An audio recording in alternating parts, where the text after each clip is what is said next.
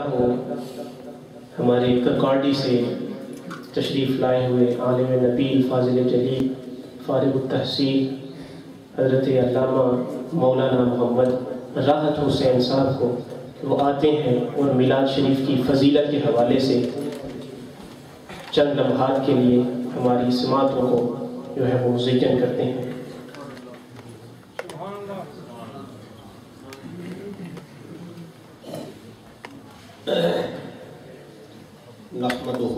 نحمده ونصلي ونسلم على رسوله الكريم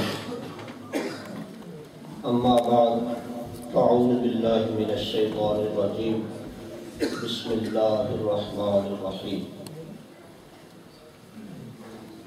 وذكرهم بأيام الله صدق الله مولانا العظيم ہر قسم کی حمد و صلاح اللہ جل شانہ کے واسطے ہر قسم کا درود و سلام۔ حضور نبی کریم روف الرحیم، تاجدار مدینہ، سرور قلب و سینہ۔ صلی اللہ تعالیٰ علیہ وسلم کے ذات والا صفات کے لیے، جن کا وجود مسئول تمام کائنات کی خلقت کا سبب ہے۔ حمد و صلاة کے بعد اسٹیج پر جلوہ فرما، معزز و محترم علماء کرام صلاح خان مصطفیٰ، بالخصوص حضرت علامہ قاری ذیشان صاحب، دامت برکاتہ القدسیہ اور معزز سامعین محترم، آپ کے سامنے پہلی مرتبہ حاضری کا موقع ملا۔ اللہ تعالیٰ کی بارگاہ میں دعا ہے۔ اللہ تعالیٰ ہماری اس حاضری کو اپنی بارگاہ میں شرف قبول عطا فرمائے۔ حضرات محترم، یہ ایک مسلمہ حقیقت ہے۔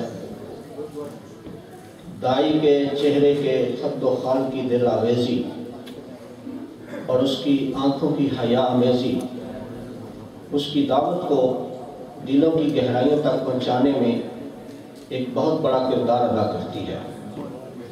قسام اجل، جو علیم بھی ہے اور حکیم بھی۔ وہ جتنی بڑی دعوت کی ذمہ داری کسی کو سونپتی ہے، اتنا ہی زیادہ اس کو حسن ظاہری اور حسن باطنی سے حز وافر عطا فرما دیتی ہے۔ ہمارے کریم آقا علیہ السلام کی دعوت چونکہ عالمگیر تھی، اس لیے خالق کائنات نے اپنے پیارے حبیب صلی اللہ علیہ وآلہ وسلم کو حسن ظاہری اور حسن باطنی سے حسن وافر عطا فرمایا۔ تاکہ ان کی بارگاہ حسن و جمال میں جب بھی کبھی کو آئے، جس وقت بھی آئے، جو کچھ بھی لینے آئے، جیسا بھی لینا آئے، وہ خالی نہ جائے، وہ اپنی دوہر مراد سے دامن کو بھر کر جائے۔ یہی وجہ ہے کہ ہمارے کریم آقا علیہ السلام کی بارگاہ میں جو بھی آیا، جس نے جو کچھ بھی مانگا میرے کریم آقا علیہ السلام کی زبان اقدس پر کبھی لا کا لفظ نہیں آیا۔ حضور نے ہر کسی کو اس کی سوچ سے بھی زیادہ عطا فرمایا۔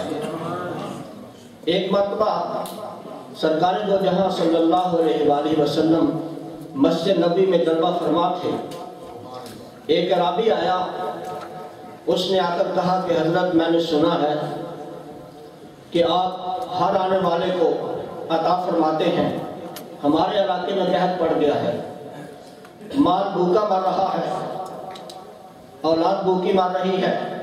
کھانے کے لیے کچھ نہیں، پینے کے لیے کچھ نہیں مل رہا۔ تو آپ کا شورہ سن کے آپ کی بارگاہ میں حاضر ہوا ہوں۔ آپ مجھے کچھ عطا فرمائیں۔ اتفاق تھا اس وقت۔ حضور سید عالم صلی اللہ علیہ وسلم کے پاس چند کھجوریں پڑی تھیں۔ تو آپ نے اٹھا کر اس کو وہ کھجوریں عطا فرما دی۔ تو وہ چند کھجوریں دیکھ کر تعجب کا اظہار کرنے لگا۔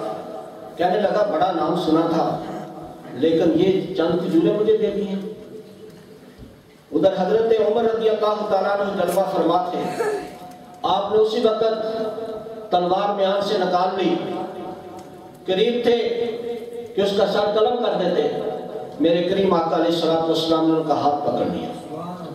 فرمایا، عمر، ٹھہرو۔ یہ میرا مہمان ہے۔ میں جانتا ہوں میں نے اس کے ساتھ کیسا سلوک کرنا ہے۔ حضرت عمر رضی اللہ تعالیٰ نے سرکار کا فرمانے عالی شان سن کر اسی وقت سر نیچے کر لیا، تلوار میان میں ڈال لی اور ہاتھ باندھ کے کھڑے ہو گئے۔ وہ آدمی اسی طرح بڑھ بڑھاتا ہوا محفل سے چلا گیا۔ ابھی وہ آدمی محفل سے باہر نکلا ہی تھا۔ ایک اور آدمی آ گیا۔ سامان سے لدا ہوا اونٹ لے کر سرکار کی بارگاہ میں حاضر ہوا۔ عرض کیا، یا رسول اللہ صلی اللہ علیہ وسلم، یہ اونٹ اور یہ سارا مال آپ کی خدمت میں حاضر ہے۔ آپ جہاں چاہیں اس کو تقسیم فرما سکتے ہیں، جہاں چاہیں اس کو خرچ کر سکتے ہیں۔ حضور نے فرمایا کہ وہ جو آدمی ابھی آیا تھا، اس کا پتہ کرو کدھر گیا ہے، اس کو بلا کے لاؤ۔ صحابہ اکرام اس کی تلاش میں نکلے تو اس کو تلاش کر لیا۔ اس کو فرمایا کہ تجھے حضور بلاتے ہیں۔ وہ سوچ رہا تھا کہ شاید اب پتہ نہیں میرے ساتھ کیا سلوک ہونے والا ہے۔ لیکن قربان جائیں جب اس سرکار کی بارگاہ میں پہنچا تو سرکار نے فرمایا کہ یہ اونٹ بمے سال و سامان تیرا ہے، اس کو لے جا۔ اب وہی شخص جو پہلے سرکار کے بارے میں مختلف قسم کی وہ گفتگو کر رہا تھا اور بل بڑھا رہا تھا تو اب جب وہ جانے لگا تو وہ کہہ رہا تھا، جیسا سنا تھا ویسے ہی پایا۔ جیسا سنا تھا ویسے ہی پایا ہے۔ اب حضور سید عالم صلی اللہ علیہ وآلہ وسلم نے صحابہ کو مخاطب کر کے فرمایا کہ صحابہ، جب یہ شخص میرے بارے میں کچھ بڑبڑا رہا تھا، اس وقت اگر تم اس کو قتل کر دیتے تو اس کا ٹھکانہ کہاں ہوتا؟ صحابہ نے اس کیا یا رسول اللہ، آپ کا گستاخ اور پھر کسی اچھے ٹھکانے کی سوچ سکے، ایسا کبھی ہو ہی نہیں سکتا۔ یہ تو سیدھا جہنم میں چلا جاتا۔ تو آپ نے فرمایا، اب جبکہ یہ میری تعریف کرتا ہوں واپس پلٹ رہا ہے، اب اگر یہ تبھی موت بھی مر جائے، تو بتاؤ اس کا ٹھکانہ کہاں ہوگا؟ صحابہ نے اس کیا یا رسول اللہ یہ تو اب سیدھا جنتی ہے، کیونکہ یہ سرکار کے ترانے جو گا رہا تو حضرات محترم، حضور سید عالم صلی اللہ علیہ وآلہ وسلم کی بارگاہ بے پناہ میں جب بھی کبھی کوئی آیا، جس وقت بھی آیا، جو کچھ بھی لینے کے لیے آیا، میری سرکار نے اس کو، اس کی سوچ سے بھی زیادہ عطا فرمایا یہی وجہ ہے، جو کوئی بھی سرکار کی بارگاہ میں پہنچا، اس نے دل آخر یہی کہا آپ جیسا حسین دل ربا دل نشین خدا کی قسم میں نے دیکھا۔ ہے حضرت مولا علی شیر خدا رضی اللہ تعالی عنہ، آپ فرماتے ہیں، یقول نعتہو، لم ارا قبلہو ولا بعدہو ولا مصرہو آپ فرماتے ہیں کہ جو کوئی بھی میرے کریم آقا کی نعت کہے گا وہ یہی کہے گا کہ میں نے آپ سے پہلے اور آپ کی موجودگی میں اور آپ کے بعد بھی کبھی آپ جیسا پایا نہیں۔ حضرات محترم حضرت جابر بن سامرہ رضی اللہ تعالیٰ عنہ، ایک رات آپ جلوہ فرما ہے، کوئی ایسا موقع تھا، کسی ایسی جگہ پر جلوہ فرما تھے، کہ جہاں کریم آقا علیہ السلام بھی تشریف فرما تھے، اور ادھر دوسری طرف آسمان پہ چاند بھی نظر آ رہا تھا۔ تو حضرت جابر رضی اللہ تعالیٰ عنہ فرماتے ہیں کہ میں اس رات ایک ایک بار چہرہ مصطفیٰ کی طرف دیکھتا اور ایک بار آسمان کے چاند کی طرف دیکھتا اور میں لگا فیصلہ کرنے کہ دونوں میں سے حسین کون ہے؟ تو کہتے ہیں کہ میری سوچ نے، میری ساری فکر نے بلاخر یہی فیصلہ کیا کہ میرے کریم آقا علیہ السلام کا چہرہ چاند سے زیادہ حسین۔ اسی طرح حضرت عباس رضی اللہ تعالیٰ عنہ، آپ فرماتے ہیں، یا مخجل الشمس والبدر المنیر اذا تب تسم السر لم البرک منہ ادا آپ فرماتے ہیں سورج اور چاند کو شرمندہ کرنے والے، اے چہرہ مصطفیٰ، جب آپ کی روشنی پھیلتی ہے، تو کائنات کا ذرہ ذرہ روشن ہو جاتا ہے۔ حضرات محترم، میرے کریم آقا علیہ السلام کی زندگی کا ایک ایک باب ایسا روشن ہے کہ جس حصے کو بھی آپ چھیڑیں آپ بلاخر یہی پکار اٹھیں گے آپ جیسا حسین دل ربا دل نشین خدا کی قسم میں نے دیکھا۔ اسی لیے جب جبریل امین علیہ السلام سے سرکار نے پوچھا تھا کہ جبریل بتاؤ تم نے مجھے کیسا پایا؟ تو جبریل امین نے جو جواب دیا کسی فارسی شاعر نے کہا ہے آفاق ہا گردیتا ہم محرے بتا ورزیتا ہم بسیار خوبہ دیتا ہم، لیکن تو چیزیں دیگری جبریل امین نے عرض کیا، یا رسول اللہ، میں نے مشارق و مغارب کو دیکھا، شمال و جنوب کو دیکھا، بڑے بڑے حسیناؤں کے پاس گیا، بڑے بڑے کمالات والوں کے پاس گیا، لیکن پیارے حبیب آپ جیسا کہیں نہیں ملا۔ حضرت شیخ عبدالحق محدث دہلوی رحمت اللہ تعالیٰ نے ایسا پیارا کلام کہا کہ انہوں نے کمال کر دیا۔ انہوں نے یہی کہا، انہوں نے کہا کہ سرکار کی تعریف کے بارے میں بس اتنا ہی سمجھ لو۔ لا یوم يمکن الصناؤ کما کان حقہ۔ بعد الخدا بزرگ دوئی قصہ مختصہ میں انہی الفاظ پر اپنی گفتگو کو ختم کرتا ہوں۔ اللہ تعالیٰ کی بارگاہ میں دعا ہے۔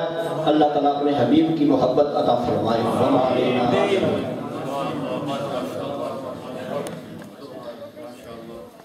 ہم خوش قسمت ہیں کہ آج کی ہماری محفل میں بہت بہت ملک پاکستان کے اور انگلینڈ کے بہت بڑے نام آج ہمارے درمیان موجود ہیں۔ میری مراد مانچسٹر سے قاری جاوید اختر صاحب تشریف لائے، پاکستان سے آئے ہوئے الحاج محمد یوسف میمن صاحب، قاری احمد رضا جماعتی صاحب یہ آج کے ہماری محفل میں تشریف لائے۔ ہم دل کی عطا گہرائیوں سے ان کا شکر گزار ہیں۔ اور خوشی کے لمحات بھی ہیں۔ اللہ پاک جو ہے ہم سب کا یہاں پر آنا جانا، ہماری حاضری، ہم سب کا سننا، سنانا، اللہ پاک اپنی بارگاہ میں قبول و منظور فرمائے۔ رب تعالیٰ نے قرآن پاک میں ایسی ایسی ہستیوں کا ذکر فرمایا ہے جن کے قدموں کی بڑی برکت ہے۔ اور ان ہستیوں کو اس دنیا میں پیدا فرمایا جن کے قدموں کی بڑی برکت ہے۔ آپ دیکھیں کہ اللہ رب العزت نے حضرت حاجرہ رضی اللہ تعالیٰ آپ نبی کی محبت میں دوڑی ہیں۔ آپ کے قدموں کی یہ برکت ہے کہ جہاں پر آپ دوڑی ہیں اللہ پاک نے اسے فرمایا، ان الصفا والمروہ من شعائر اللہ. کہ یہ صفا اور مروہ کی جو پہاڑیاں ہیں، یہ عام پہاڑیاں نہیں ہیں، اس کو میری بندی کے ساتھ نسبت ہو گئی ہے، یہ برکت ہو گئی ہیں۔ یہ بابرکت ہو گئی ہیں۔ قیامت تک جتنے بھی حاجی اور بندے جو آئیں گے، جب تک حج و عمرہ میں یہ صحیح کو پورا نہیں کریں گے، تمہارا حج بھی قبول نہیں ہے، تمہارا عمرہ بھی قبول نہیں ہے۔ ان الصفا والمروہ من شعائر اللہ صفا اور مروہ کی جو پہاڑیاں ہیں، یہ رب کی نشانیاں ہیں۔ حضرت ابراہیم کے قدموں کی یہ برکت ہے کہ وَتَّخِذُوا اللہ پاک نے ارشاد فرمایا، جہاں میرے ابراہیم کے قدم لگے، اس جگہ کو مصلح بنا۔ وَتَّخِذُوا مِن مَقَامِ إِبْرَاهِيمَ مُصَلَّى جہاں ابراہیم کے قدم لگے ہیں، اس جگہ کو مسلح بنا۔ اور حضرت اسماعیل کے قدموں کی آپ کو برکت ہے کہ آپ کے قدم جہاں پر رگڑے آپ نے جہاں پر ایڑی رگڑی ہے، وہاں سے اللہ پاک نے زمزم کا کنواں نکالا۔ اللہ تبارک و تعالیٰ کے جب محبوب کی باری آتی ہے، کائنات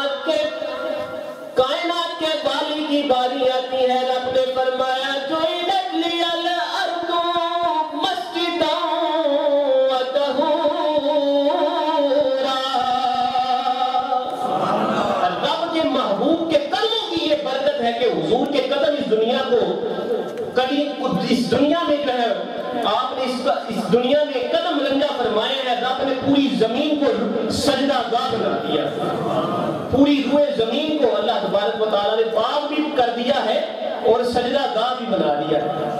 یہ ہمارے محبوب کی حضور کی آقا کی شان ہے۔ میں دعوت دینے والا ہوں حضور کی بارگاہ میں ملحت کونین صلی اللہ تعالیٰ علیہ وسلم کے لیے۔ دعوت دیتا ہوں مجسر سے آئے ہوئے ہمارے مہمان ثنا خان محمد شیخ عثمان صاحب کو کہ وہ آئیں اور اپنے ٹائم کے ٹائم کا دھیان رکھتے ہوئے اپنی حاضری کو مکمل کریں۔ تمامی احباب جو ہے درود پاک پڑھنی ہے، صلی اللہ علیہ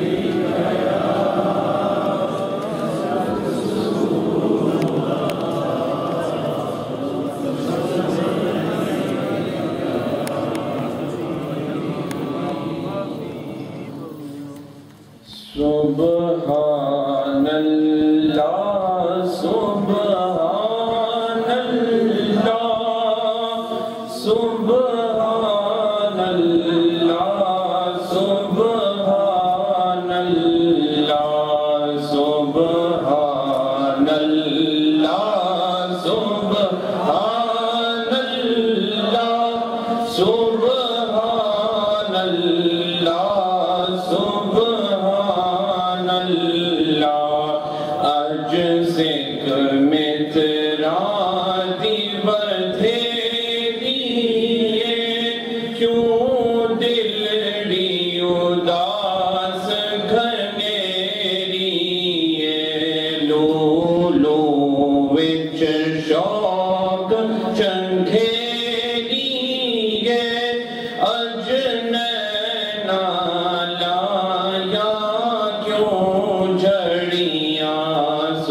سبحان اللہ سبحان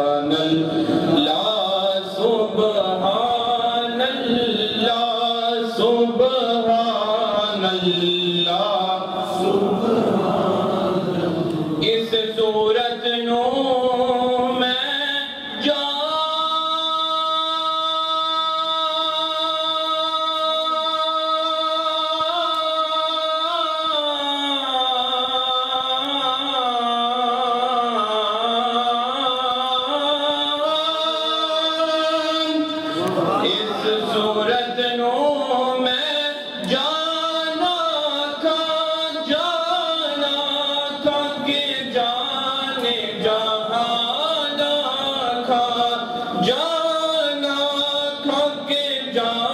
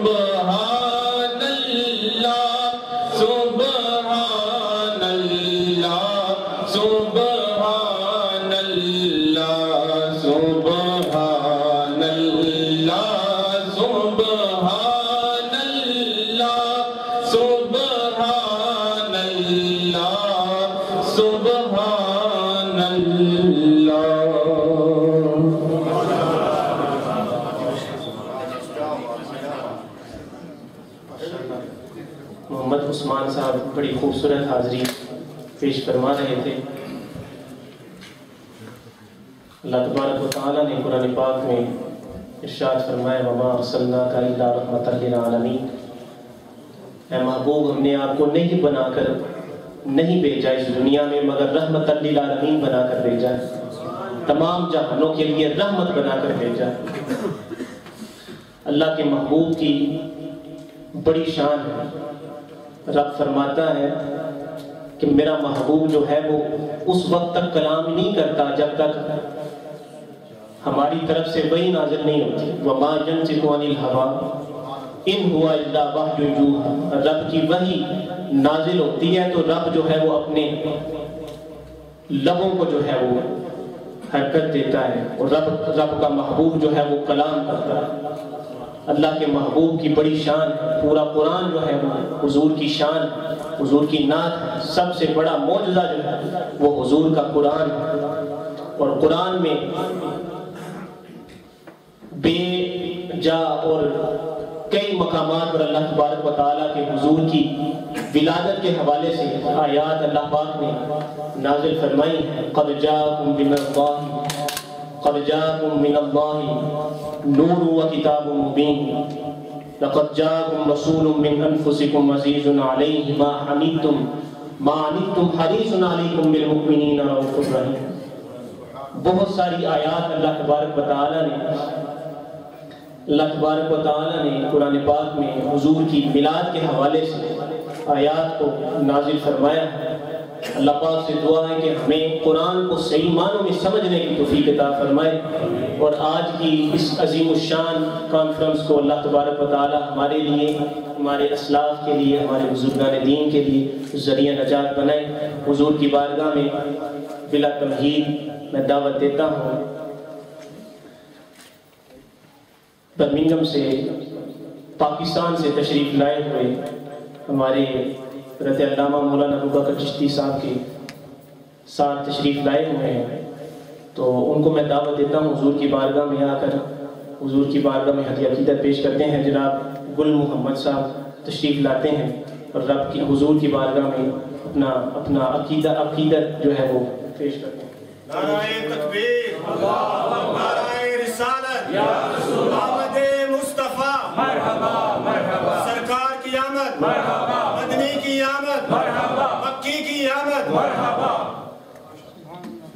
پڑھیے اللہم صلی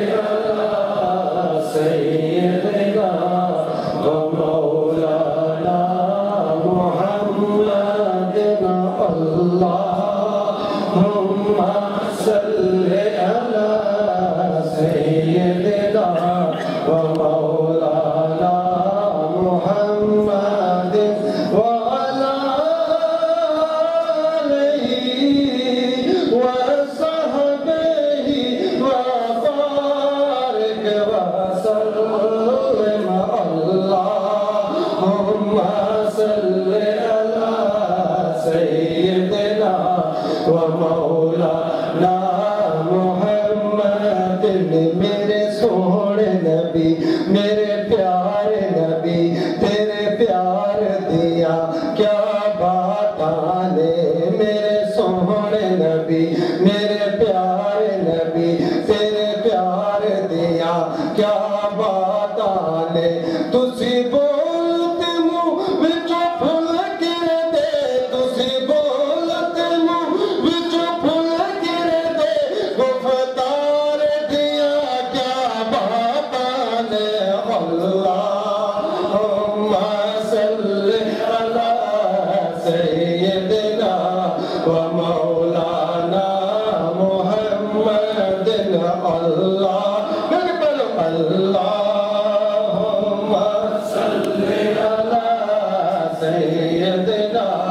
و